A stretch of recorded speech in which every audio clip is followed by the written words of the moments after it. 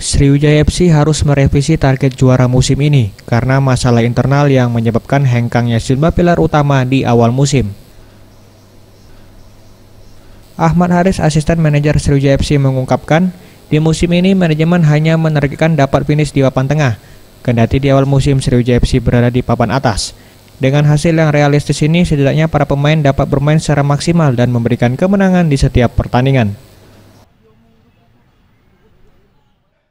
Uh, mungkin untuk target kita uh, di, di di papan tengah ya kita kita kita harus uh, realistis kita harus lihat kondisi kita bahwa kita dengan materi ini ya harus optimis papan tengah atau paling tidak lima besar.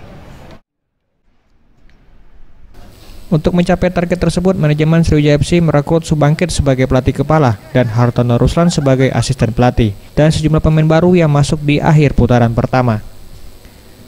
Tim Liputan Sriwijaya TV